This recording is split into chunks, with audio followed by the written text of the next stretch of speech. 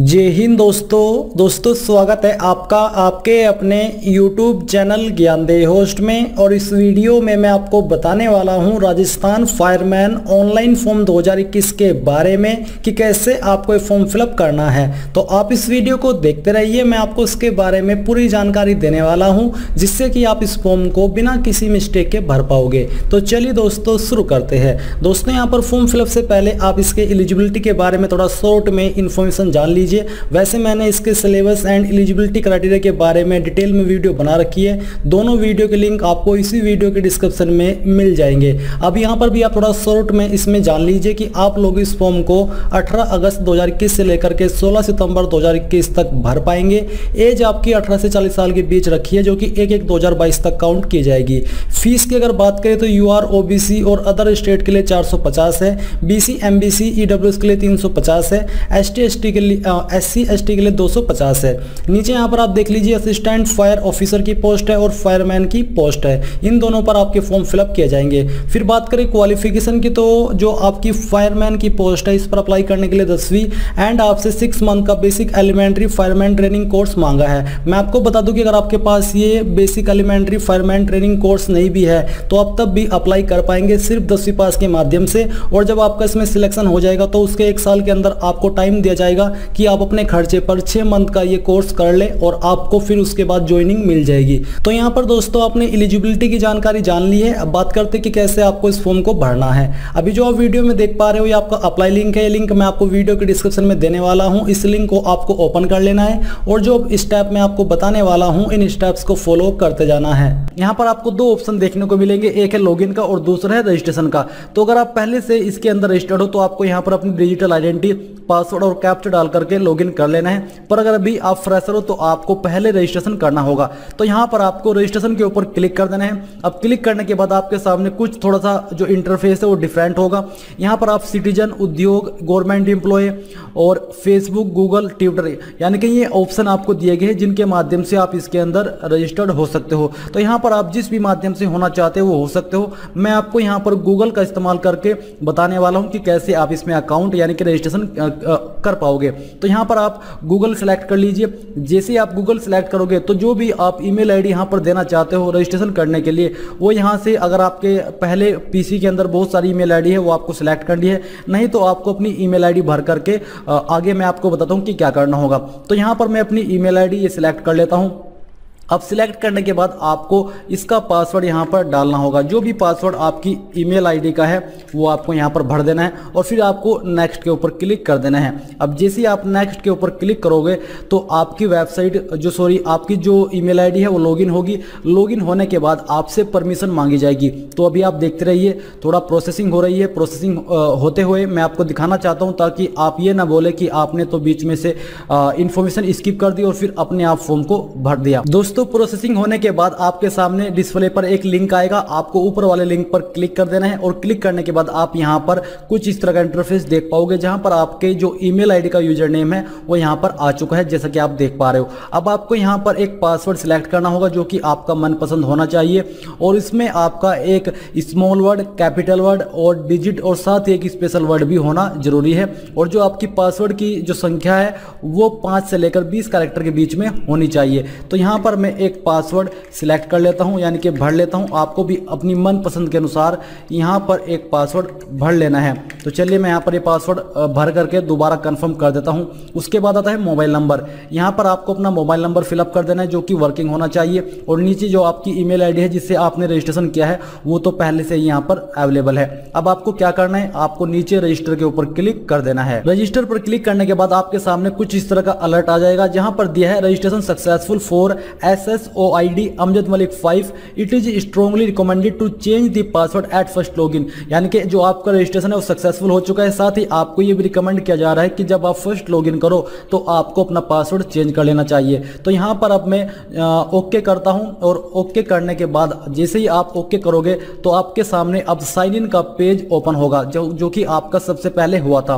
तो यहाँ पर आपको अपनी S S O I D भरनी है, जो कि आपका यूज़र नेम होगी और जो कि अभी आपने देखी है रजिस्ट्रेशन करने के बाद। अब यहाँ पर जो पासवर्ड आपने सिलेक्ट किया था, अभी जो आपका रजिस्ट्रेशन है, वो करते वक्त वो आपको भर देना है। फिर यहाँ पर जो कैप्चा कोड यानी कि जो सिक्योरिटी दी है सिक्योरिटी नंबर दिया है, ये यहाँ पर आपको भर देना है। चलिए मैं यहाँ पर इसको भर देता हूँ और भरने के बाद अब मैं यहाँ पर लॉगिन के ऊपर क्लिक कर देता हूँ। तो जैसे आप लॉगिन के ऊपर क्लिक करोगे तो आपके सामने कुछ इस तरह का इंटरफेस आ जाएगा, जो कि अभी आप यहाँ पर देख पा रहे हो। यहाँ पर जो आपकी जो S S O I D यानी कि यूज़र नेम है, इसके बाद आपका फ़र्स्ट नेम है तो यहाँ पर आपको अपना फ़र्स्ट नेम डाल देना है। अगर आपका कोई लास्ट नेम है, वो डाल देना, वो भी आपको यहाँ पर फिलअप कर देना है। मैं आपको बता दूँ कि जो आप यहाँ पर नेम फिलअप कर रहे हो, ये नेम आपको अपनी टेंथ की मार्कशीट के अनुसार ही भरने होंगे। इसके बाद डेट ऑफ़ बर्थ यहाँ से आपको अपनी डेट ऑफ़ बर्थ सिलेक्ट कर लेनी है। जो भी आपकी डेट ऑफ़ बर्थ है, वो यहाँ से आपको इस प्रकार से सिलेक्ट कर लेनी है। जैसे कि मैंने अभी यहाँ पर आपको सिलेक्ट करके दिखाया है। इसके बाद आपको अपना जेंडर सिलेक्ट करना है। फिर यहाँ पर आपका जो मोबाइल नंबर है, वो तो आपने पहले ही भर दिया है। अब आता है टेलीफोन नंबर क्या आप उसके अलावा कोई और नंबर भी देना चाहते हो तो आप वो यहाँ पर भर सकते हो। आपका पोस्टल एड्रेस क्या है? आपको यहाँ पर अपना पोस्टल एड्रेस भर देना है। यहाँ पर आपको अपना पोस्टल कोड फिलअप कर देना है। फिर इसके बाद आपको अपनी डिस्ट्रिक्ट यहाँ पर भर देनी है। इसके बाद यहाँ से आपको अपनी स्टेट सेलेक्ट कर लेनी है। जो भी आपकी स्टेट है, वो आपको यहाँ से सिलेक्ट कर लेनी है। अब इसके बाद आपको यहाँ पर है बहामास आईडी इनरोलमेंट नंबर तो ये आपके लिए नहीं है और ये भी आपके आधार आईडी वीआईडी ये भी आप यहाँ से भर सकते हो अगर आप चाहो तो। तो जैसे ही आप इसके ऊपर क्लिक करोगे तो यहाँ पर आप अपनी अपडेट आधार नंबर यानी कि अपनी जो आधार कार्ड की वर्चुअल आईडी है वो यहाँ पर भर सकते हो और भरने के बाद आपको कंटिन्यू के ऊपर क्लिक कर देना है। और फिर जब आपकी सभी जानकारी भर जाए तो आपको अपडेट के ऊपर क्लिक कर देना है। अपडेट पर क्लिक करने के बाद प्रोसेसिंग होगी और प्रोसेसिंग होने के बाद आप यहाँ पर देखोगे अलर्ट में, your S S O profile has been updated successfully and a notification has been send through S M S and और ईमेल यानी कि आपको एक नोटिफिकेशन मैसेज और मेल के माध्यम से भेज दिया गया है। अब आपको यहाँ पर ओके करना है। अब जब आप ओके कर लोगे तो आपके सामने आपके जो फॉर्म है, उसका डैशबोर्ड ओपन हो जाएगा। अभी प्रोसेसिंग हो रही है। प्रोसेसिंग होने के बाद आप यहाँ पर देखोगे कि आपके फॉर्म का डैशबोर्ड ओपन हो चुका है। अब मैं आपको बताता हूँ कि कैसे आपको अप्लाई करना है। दोस्तों, यहाँ पर आप देख पा रहे हो कि बहुत सारे ऑप्शन दिए गए हैं। इसमें आप कन्फ्यूज़ मत होइएगा, क्योंकि मैं आपको बताने वाला हूँ कि कैसे आप इस फॉर्म को भर पाओगे। यहाँ पर आप जैसे ही आपके सामने इस तरह के ये ऑप्शन आ जाए आपको क्या करना होगा? यहाँ पर आप जैसे नीचे आओगे तो देखोगे रिक्रूटमेंट पोर्टल तो आपको इसके ऊपर क्लिक कर देना है। ऑन गोइंग रिक्रूटमेंट के ऊपर क्लिक करने के बाद यहाँ पर दोस्तों आप देखेंगे direct recruitment of assistant fire officer and fireman तो आपको यहाँ पर नीचे अप्लाई नाउ के ऊपर क्लिक करना है। इसके ऊपर क्लिक करने के बाद आपको सिलेक्ट करना है कि आप कौन सी पोस्ट पर अप्लाई करना चाहते हो। तो यहाँ से मैं फायरमैन सिलेक्ट कर लेता हूँ। ये सिलेक्ट करने के बाद दोस्तों आपके सामने बेसिक इन्फॉर्मेशन आ जाएगी। तो आपको यहाँ पर एक एक करके इन सभी जानकारी को भरना है। जैसे कि आपका नाम, आपको यहाँ पर एंटर करना है और ये टेंथ की मार्क मार्कशीट के अनुसार होना चाहिए। इसके बाद यहाँ पर दोस्तों आपको अपने फादर का नेम एंटर करना है। यहाँ पर आपको अपनी माता जी का नाम एंटर करना है। इसके बाद आपको अपना जेंडर सिलेक्ट कर लेना है। फिर डेट यहाँ पर आपको डेट ऑफ़ बर्थ अपनी सिलेक्ट करनी होगी। पहले यहाँ पर जो भी आपका ईयर है वो सिलेक्ट कर लीजिए, फिर यहाँ से मंथ और उसके बाद में डे तो आपकी डेट ऑफ़ बर्थ आ जाएगी। कास्ट कैटेगरी आपकी कौन सी है वो आपको यहाँ पर सिलेक्ट कर लेनी है। अगर आप आर्थिक रूप से कमज़ोर वर्ग यानी कि ई e से है तो यस कर दीजिए, नहीं तो आपको नो करना है। अगर आप स्पेशल एबल्ड कैटेगरी कैंडिडेट तो आपको अपनी कैटेगरी सिलेक्ट करनी होगी, नहीं तो नॉट एप्लीकेबल सिलेक्ट कर दीजिए।